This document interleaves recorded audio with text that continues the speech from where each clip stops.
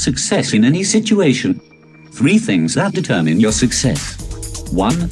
You believe your story. When you're present, you demonstrate conviction and passion so that other people come to believe your story. 2. 2. You're confident without being arrogant. A truly confident person does not require arrogance, which is nothing more than a smokescreen for insecurity. 3.